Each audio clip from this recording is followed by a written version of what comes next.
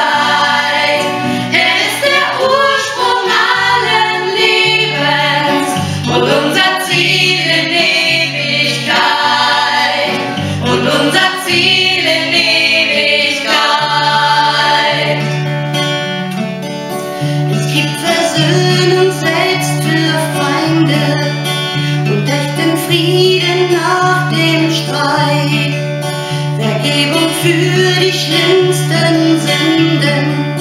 Ein neuer Anfang jederzeit. Es gibt ein ewiges Reich des Friedens. In unserer Mitte lebt es schon. Ein Stück vom Himmel hier auf.